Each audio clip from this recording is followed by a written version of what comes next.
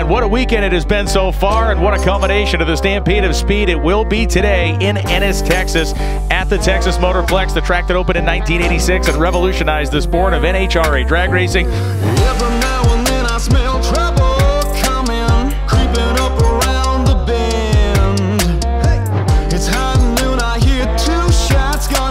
stranger claiming he's a if I don't know you, don't mess with me. I'm warning you now that it's best you leave. When I hit your body, it'll twist your body to the point that you look like a letter G.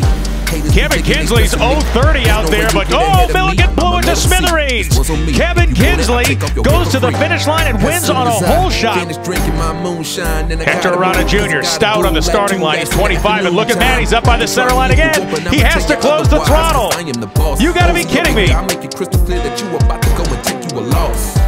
I'm a man for the peace.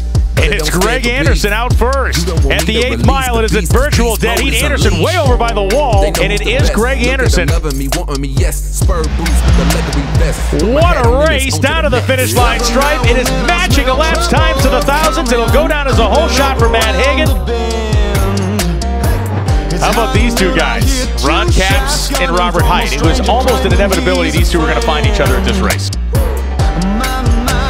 Robert Hight smokes the tires and Capps gets redemption from the final round of St. Louis.